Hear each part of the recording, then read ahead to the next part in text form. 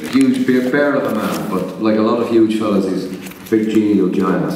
And uh, he was very benevolent towards people who weren't very experienced at the art of busking. And at one stage, a friend of mine was busking, and the pecker came along and saw he was doing so badly. Pecker Dunne busked for him, collected some money, and said, "There you are. Now that's how you that's how you should be doing it." So he taught him how to busk. So he wrote this song called Sullivan's John about life on the road for the travelling people. Música